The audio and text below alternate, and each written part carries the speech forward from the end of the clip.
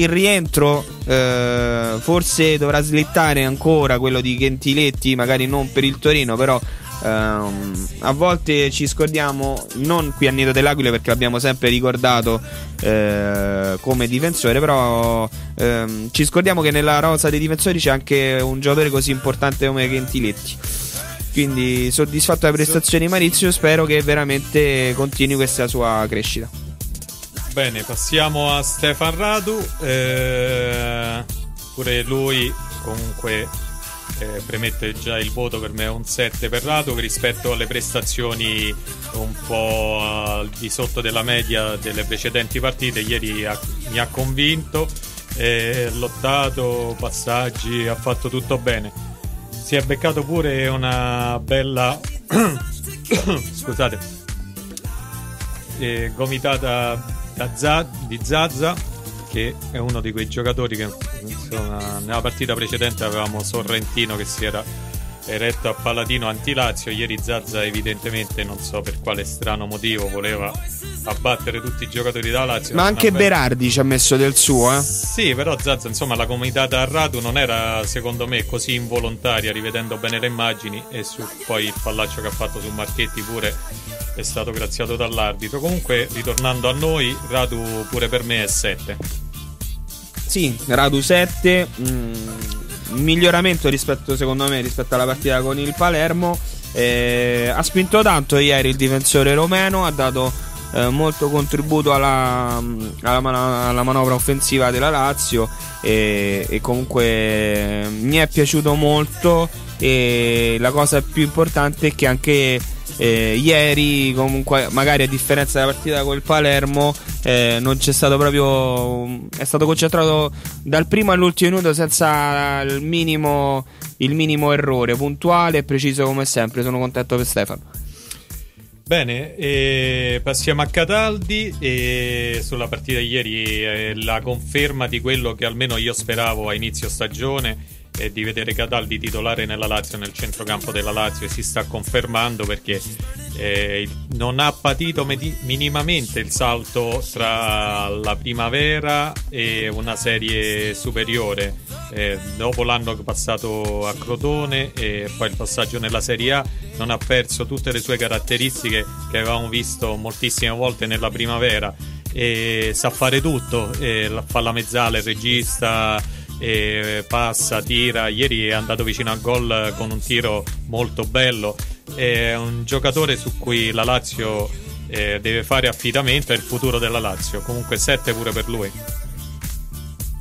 Sì, uh, ieri ha avuto un, uh, un, avvio un pochino più uh, difficile delle altre volte Danilo, però comunque con, anche con la prestazione di ieri ha confermato la sua, la sua personalità, il suo, il suo carisma in mezzo al campo. Comunque è un giocatore che non sembrerebbe essere alla prima stagione in Serie A.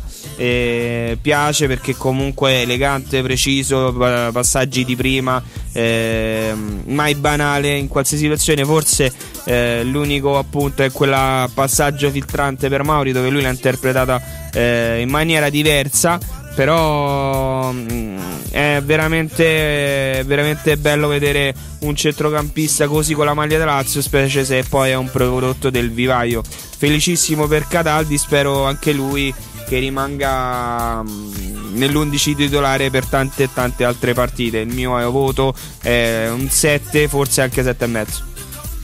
Quindi un 7,5 per Cataldi da parte di Marco. Passiamo dopo Cataldi a Luca Sbiglia. Luca Sbiglia è il giocatore, lo notavo ieri, perché, perché ormai è, penso, dunque c'è stata la partita col Genova, poi le tre vittorie, quindi è la quarta partita consecutiva. Eh, hanno preso spunto tutti da Gasperini, evidentemente gli allenatori avversari. E dicevo, è quello più penalizzato dal modulo della Lazio per assurdo, perché ormai tutti gli allenatori che giocano contro la Lazio eh, mettono giocatori fissi addosso a Biglia.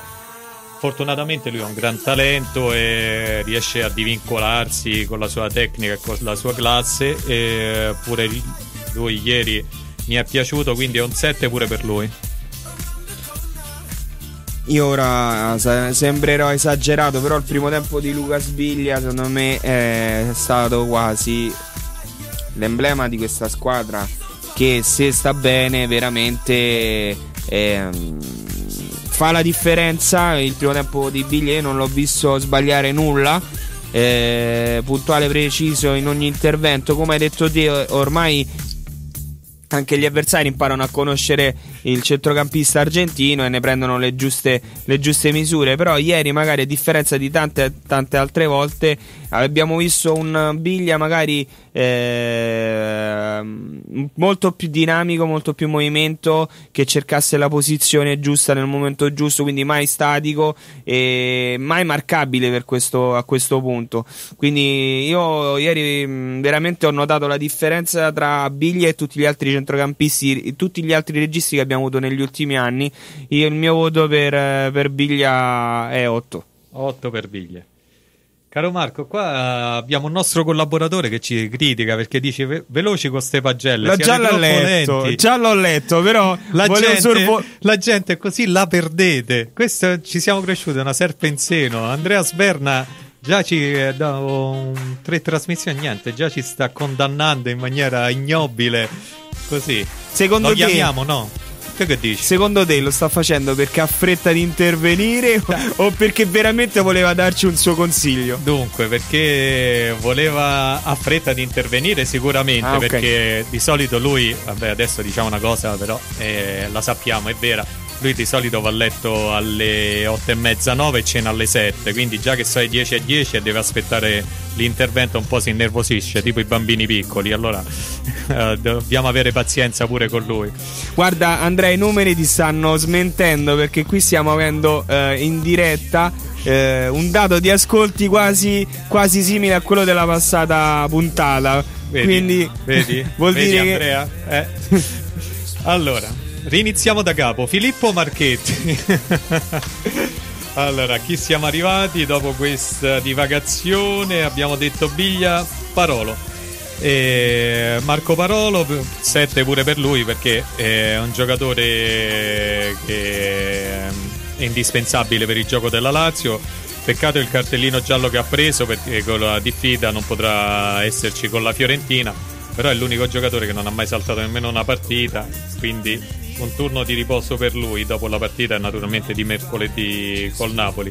Trova sempre il gol, un centrocampista che segna molto, che dire, eh, grande prestazione pure per lui, un 7. Parolo 7 e mezzo, io veramente questo giocatore mi entusiasma. Eh, è veramente guarda ieri l'unica nota dolente è stata appunto la sua munizione perché una partita così importante come quella contro la Fiorentina guarda io ero disposto a rinunciare a qualsiasi altro giocatore ma mai a Marco Parolo perché comunque ormai è entrato talmente bene nel, nel, nel, nel disegno tattico di Mister Pioli che è, è veramente il tassello fondamentale quale, la, questa squadra non, non ne può fare a meno puntuale, preciso come sempre, eh, si trova sempre nel momento giusto a, a dettare il passaggio giusto. Gli do, gli do 7,5 perché oltretutto ha continuato a trovare il gol e eh, dopo Stefano Mani il centrocampista più prolifero di questa squadra. Sono, sono veramente contento dell'acquisto di Parolo. di Parolo. Bene, eh, Felipe Anderson è il protagonista della partita. Inutile Io te l'avevo detto, basta, aspetta, aspetta, aspetta, sì, che sì, questo esploderà, grande, sarà un fenomeno. Un giocatore che Marco ci ha sempre invitato ad attendere perché era convinto, sempre, un giocatore su cui Marco ha sempre puntato e questo posso testimoniarlo vedendolo sempre allo stadio, quindi è sicuramente vero quello che dici. E nella gara di ieri, oltre al gol che è veramente bello, ha fatto pure molti assist perché eh, non solo quelli sui gol, considera pure quelli che ha fallito Close, i due gol.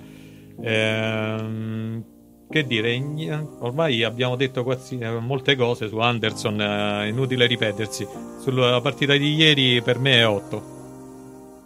Io mi sbilancerei, darei anche, anche un 8,5.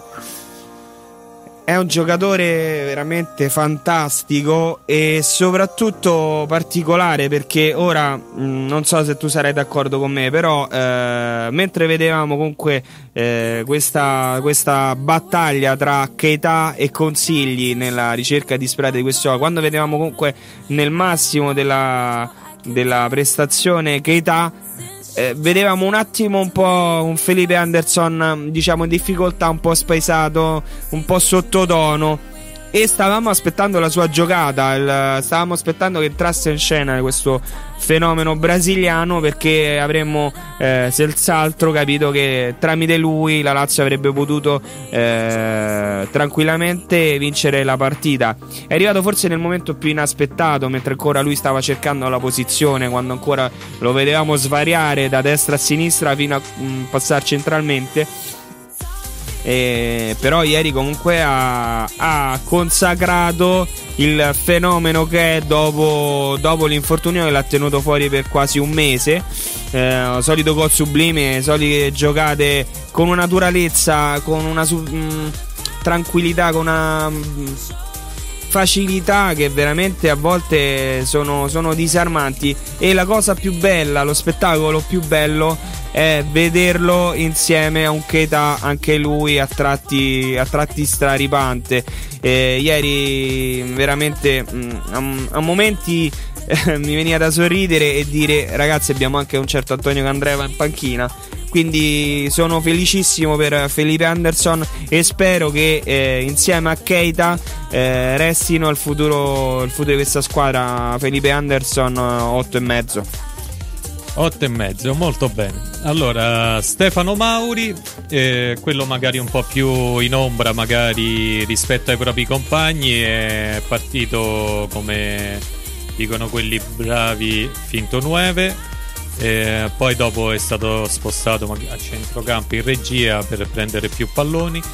Eh, rispetto alle altre partite, meno spunti. Comunque, rimango convinto, anche se la presenza di ieri eh, eh, la prestazione di ieri non è stata di livello come i suoi compagni, per me rimane una presenza che deve essere sempre fissa nella Lazio, un giocatore che non deve mai mancare. 6 e mezzo. Sono d'accordo con te, e... però io a Stefano Mori non riesco ad andare sotto al 7 per un semplice motivo, perché anche ieri comunque... Ehm in tutte le situazioni, in tutte eh, le azioni dove la Lazio era più pericolosa, o c'era passa- l'ultimo passaggio di Stefano Mauri, o c'era il movimento eh, di Stefano Mauri ad aprire gli spazi, i varchi per gli inserimenti di Chetà e di Felipe Anderson, oppure c'era comunque un, un, un suo movimento sul secondo palo o un, un suo inserimento. Quindi comunque rimane sempre il giocatore più determinante di questa squadra. Bene, Miroslav Klose è entrato al ventesimo del secondo tempo, quindi per lui 25 minuti di gioco più i 4 di recupero, quindi ha giocato 29 minuti. 29 minuti, un gol realizzato, due mancati. Eh, che dire, eh, nelle immagini di ieri è stato interessante vedere eh, la persona che con la cartellina dà le indicazioni ai giocatori quando entrano. Credo Marco sia l'allenatore in seconda? Sì. Quello con la cartellina sì. l'omino con la cartellina che diceva a Close cosa fare. E quello l'ho trovato sì, veramente divertente perché a Miroslav Klose che sta per entrare in campo gli devi dire con la cartellina guarda te mettiti là o vai a marcare sul calcio d'angolo. E Close stava là e se lo guardavo e di guarda che mi tocca sentì. Io che so Miroslav Klose ma che gli devi dire a Miroslav Klose nella cartellina non ci devi scrivere oddio, niente. Oddio, gli devi mettere un... la guida rossa dice attento che ti sporchi gli scarpini entri in campo e basta. A Close non gli devi dire niente. Vabbè, poi certo. Eh, tu mi dirai i due gol che ha mancato adesso magari qualche stavi, imprecazione me l'ha tirata stavi fuori facendo notare però se ben notato quando ha segnato Miroslav Klose era più arrabbiato di noi perché faceva quello gesto a terza come di dopo tre una gli ho segnata era incazzatissimo e poi è arrivato Parolo gli ha fatto va bene così va bene così proprio quindi Miroslav Klose è immenso come sempre, quindi per quei 29 minuti e per il gol per me è 7. Sì, alla fine 7 se lo merita. E mm, se lo merita perché comunque mette sempre il suo, il suo timbro alla partita. In quel momento serviva il suo contributo